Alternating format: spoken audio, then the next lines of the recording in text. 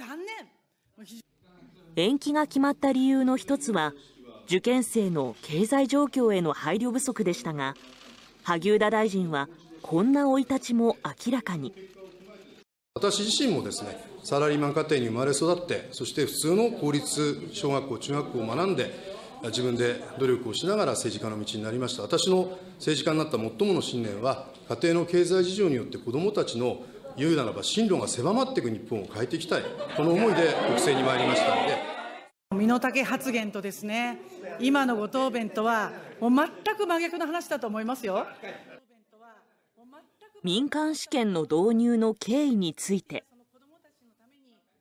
このシステムはやっぱりちょっと問題だとおかしいというふうに大臣が思い出したのは気がつかれたのはいつなんですかあの就任の時にそのことは感じてました、まあ、しかし、責任者としてですね、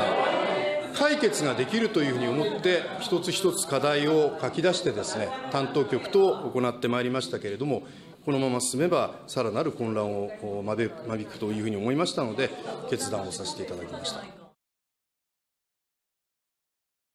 延期の議論には、組みしない、組みしないともおっしゃったんです。しかしそれから中1日の2日後、突然、制度見送りの発表となりました。実施に向けて全力で取り組むとおっしゃっていた、それがどこでどのような議論があって、誰が見送りを決めたんでしょうか。英語だけでさらに5万円も7万円もかかるというようなことは、やっぱり非現実的だということを、私もしっかり確認をした上で、えー、このような結論に至りました。もう何年も前からですね、ずっと指摘されてきた話だと思うんですよ。このまま強行すればですね、安倍政権のダメージになりかねない、ここは見送った方がいいんじゃないかと、そういった官邸主導の判断があったのではないかと。安倍内閣総理大臣。まさに萩生田大臣の判断のもとに行われたということでございます。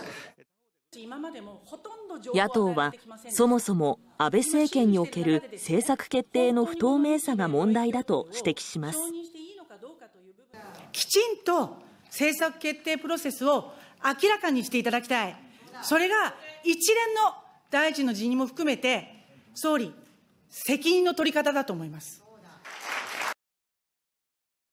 バーカネ、バーカネ、バーカネ、バーカネ、嘘バーカネ、バーカネ、恥を知れ、バーカネ、バーカネ、嘘つき、恥を知れ、嘘つき、恥を知れ、嘘つき、恥を知れ、バーカネ、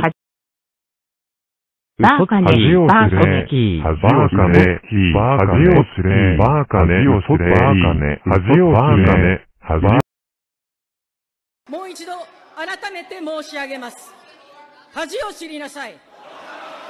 もう一度改めて申し上げます。恥を知りなさい。もう一度改めて申し上げます。恥を知りなさい。